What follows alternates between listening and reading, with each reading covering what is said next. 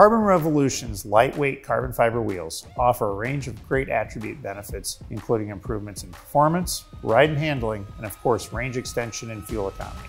Our wheels also look incredible, and they transform the style of your vehicle. We get a lot of questions about scraping our wheels on the curb and if they can be repaired.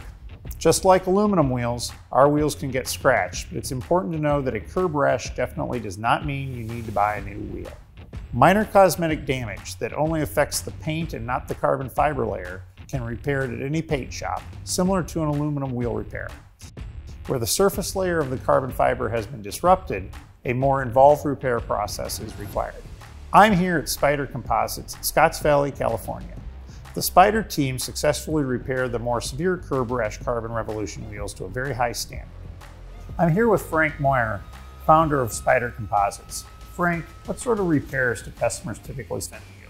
Well, typically customers send us pictures of the wheels so we can determine from those if these wheels should be sent to us to be repaired.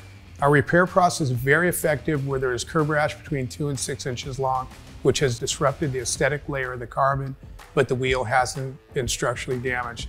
The process involves sanding the wheel back, wrapping and curing it, and repainting or clear coating the wheel. Compared to repairing an aluminum wheel, this is a superior process as we are not machining the wheel back, we're actually adding carbon back into the wheel.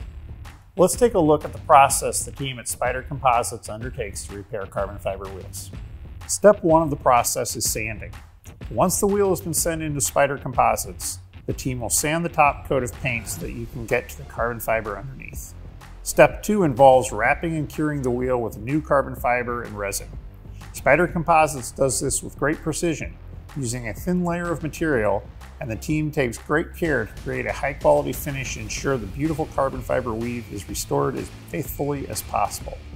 From very close up, you may notice a slight difference, but once the tire is fitted to the wheel, it's nearly impossible to see the repaired section.